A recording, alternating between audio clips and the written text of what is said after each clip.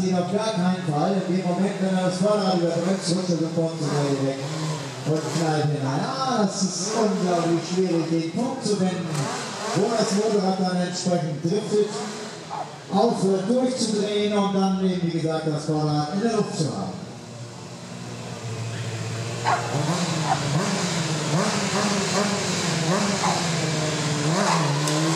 Ja, ganz kurz durchgedreht und zack, weiter rein und das reicht ihm schon. Ja, er ist ganz, ganz unglücklich, weil Buddy. Und immer wieder sucht er sich diesen Punkt aus, den wir präpariert haben, damit er sogar ein bisschen greift. Aber er ist selber ganz unglücklich drüber. Aber wir haben gesehen, ja, es passt nichts, so wie er sich das wünscht. Und zuletzt muss er sich nun auch wieder bewegen. Wir jetzt, wenn wir Das ist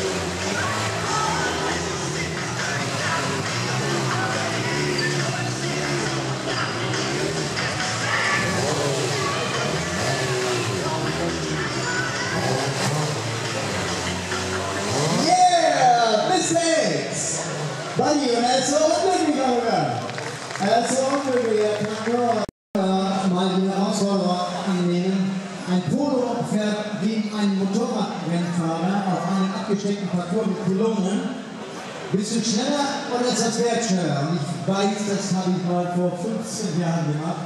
Und da hatte ich äh, beinahe mir böse, böse äh, Flecken angehandelt, weil dieses Pferd war sauschnell. Und das war in Hamburg und der Parcours war länger und äh, ja, ich konnte mit einer schweren BMW Schornprofi natürlich ganz, ganz knapp gewinnen. Da habe ich gesagt, so, ich will nicht knapp, ich will immer in meinem Leben ganz vorne fahren. Da suche ich mal ja, Flüge, natürlich, der Name Janssen, äh, Zweiertechnik, ein.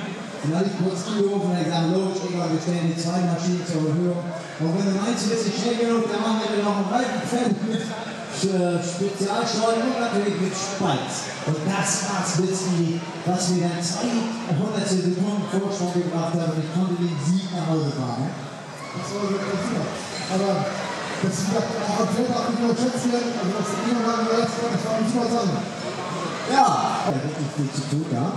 Und ich denke mal, auch Sie in der Situation jetzt die Möglichkeit mal nutzen, bei KTM genau den Wenn Sie durch den Ausgang gehen, sind wir bald, seid ihr der Klasse. Ich danke dir, mein Herr. Lass mal hören, was er wieder bringt. Yeah.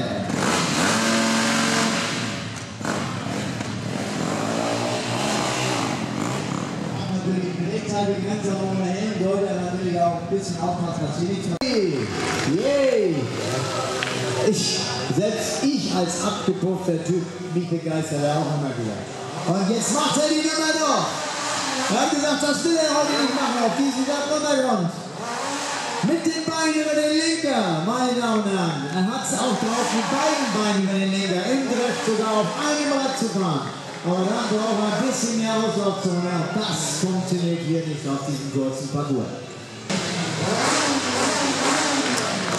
Ja, die Fahrt raus, hier ist Mr. X, Buddy, er liebt seine Blauser, die klar. Und ich sehe das an seiner Fahrtechnik, er ist überglücklich, dass er ein bisschen Antrieb hier auf diesem glatten Boden jetzt gefunden hat. Ja, Buddy, spring rauf, spring rauf und fahr auf einen Rad los. Das ist die Nummer. Schaut ihr auf den Tank und dann auf einen Rad weiter.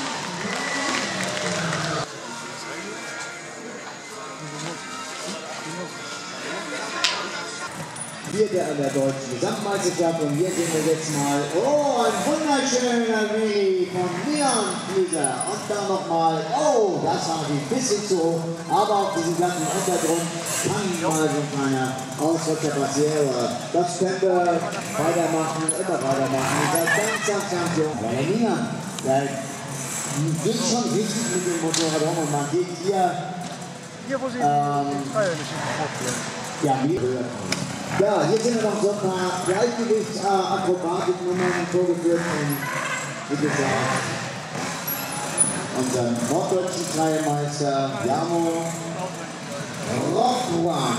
Rockwan. Das ist natürlich ein schwer auszusprechender Name, aber hier sehen wir, dass der Kleine dann auch seitwärts über die Balustraden rübergeht, ohne Probleme. Indem er das Vorderrad locker mit dem Oberkörper das Gewicht an die richtige Position bringt, mit das dann eben entsprechend das Gleichgewicht hält und so ohne Probleme über die Hindernisse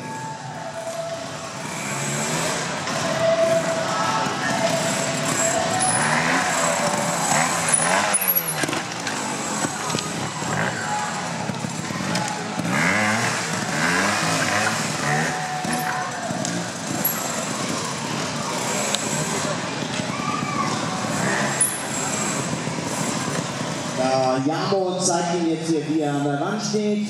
Mit perfekter Balance kann er, theoretisch könnte er den Motor ausmachen und äh, ja, frühstücken.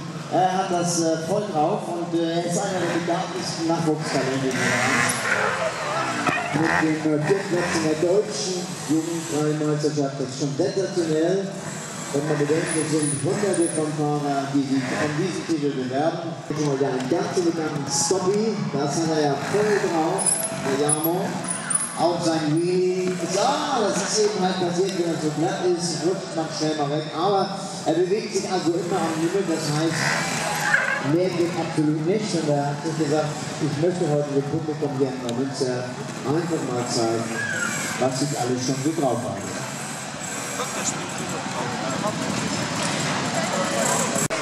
Ja, ich bedanke mich ganz herzlich für diesen Applaus, weil das ist ja auch äh, das Brot des Künstlers und des Sportlers, wenn er Applaus bekommt, dann zeigen Sie ihm, dass Sie das einfach gut finden, was er macht.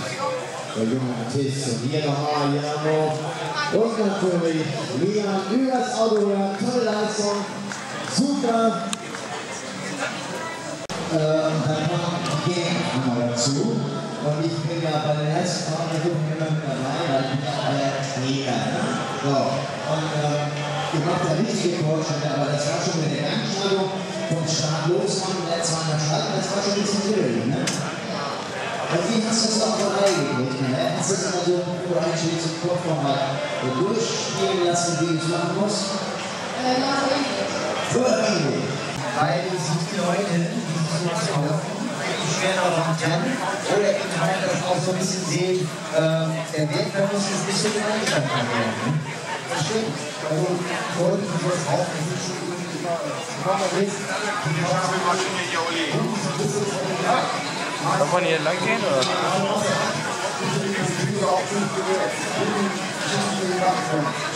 Ja, genau. Ja, wenn ich mal wieder so eine, so eine Angebot habe, ich glaube, ich auf dich zu komme, bist du wieder dabei. Dankeschön. Herr Janssen, voller Firma Janssen, KTM, Racing Team, alles im eigenen Haus. Wunderbar und natürlich, das ganz wichtig ist, nicht nur der Verkauf dieser Fahrzeuge ist entscheidend, sondern Wartung, Inspektion, Instandhaltung und wie gesagt auch dafür, wenn es mal erforderlich ist. In diesem Fall sage ich mal Dankeschön, Herr Firma Janssen, KTM in Wiebel. Aber ich glaube, der nächste Versuch wird halt funktionieren.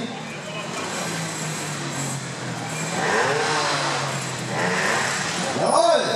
Und dann noch Wheelie auf den Dach. Vorderrad in der Luft. Ja, das hast du gemacht. Aber die Jungs hier genau, Und das ganz super, alter, ruhiger Motorlauf.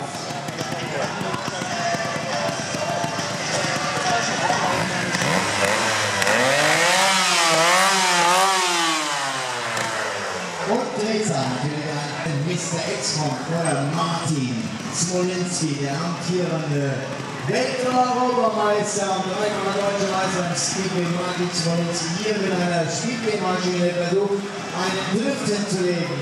Und wenn ihr das nicht hinbekommt, dann habt ihr selber Schuld. Also bleibt dabei. Und ja, wie die Scratch natürlich auch noch voll der Björn. Und jetzt will er gleich nochmal aufzeigen, dass er das Zeitfahren nicht verlernt hat. Ja, ein bisschen wackelig. Die Anfahrt, aber ich denke mal, da wird versuchen auch mal durchzukommen. Jawohl. Und das macht er mit spielerischer Leichtigkeit. Einmal gelernt, immer gekonnt. Könnt ihr ruhig mal applaudieren. Das ist der Chef selber, der hier nochmal an die Lenker greift und auch ganz klar zeigt, woher er kommt, nämlich aus dem Kreis.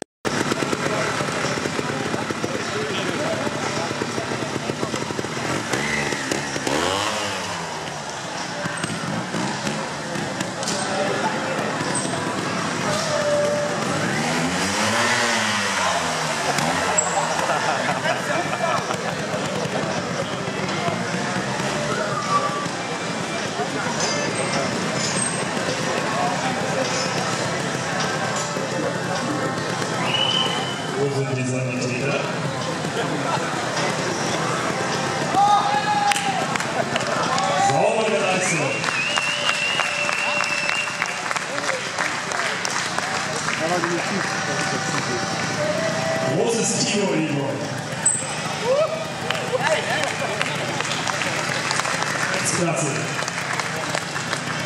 Ja, ich wollte ja nur, äh, nicht, dass ihr denkt, ich verarsche euch, ich kann immer noch. Ich kann auch Spiegel fahren. So, ihr könnt den Sound hören, dieser 125 cm Spiegelmaschine, die war, ja, bis zu 20 äh, und Beschleunigungswerte, also wirklich auf 100 äh,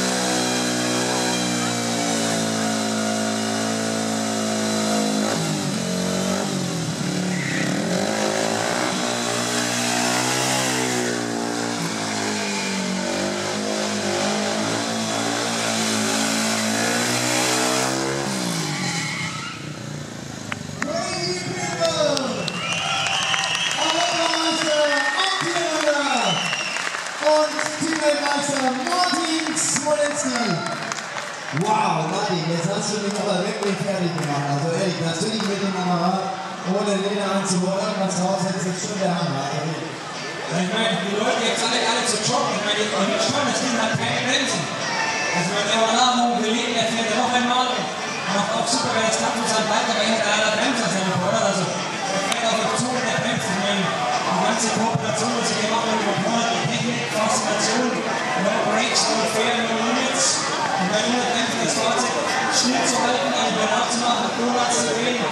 Spricht von. Adi, ja, wer es nicht kann, äh, wer es nicht kann. Aber Martin, du beherrschst das äh, wirklich von der Picke auf. Ähm, ja, Teamweltmeister, ich schon gesagt. Europameisterschaft in England auf der Grasbahn gewonnen. Und ich denke mal, so Europameister wird man auch nicht so einmal so. Wenn paar tausend Teilnehmer jetzt auch gerne werden wollen. Ne? Auf jeden Fall, ich meine, die EM steht aufs Vorlauf, im Halbfinale, Finale. Und du, du hast gesehen, es sind unterstrich 60 bis 80 Leute, hast Europameister werden wollen. Aber ich denke, ich bin ein guter Fahrer, ich weiß, was ich mache, ich weiß, was ich tue. Fahre wirklich von der Pike auf, mache seit sieben Jahren hauptberuflich. Habe derzeit sehr, sehr Tipps auf meiner Homepage, wenn Sie mal interessiert, srspeedperformance.com. Gibt es lauter so schöne Sachen zu sehen. Und ich hätte heute liebend gerne eine super geile Image-Video laufen lassen. Und ich denke, danach aber läuft über Vodafone, der Fernseher läuft, kommt nachher ein guter Image von mir. Und äh, der läuft immer ganz, der Fernseher kannst du mal reinschauen, was da läuft. Kannst du vielleicht noch Handy kaufen. Und schau mal mal, was gut ist. Adi, danke für die netten Worte. Das Thema ist bitte nochmal Applaus für die gewonnene Europameisterschaft